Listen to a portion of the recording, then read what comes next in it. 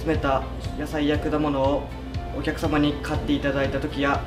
仕事を覚えて実際やってみて成功した時がやりがいを感じます。入社して2年ですがまだ覚えることがたくさんあります。日々勉強し先輩社員のようになることが僕の目標です。スーパーマーケットは地域のお客様の食のライフラインを支える大事な仕事です。商品をどうやったら買っていただけるかを考えれば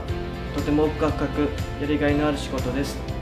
食と商売に興味があり地域貢献したい人にとてもお勧めしたいです。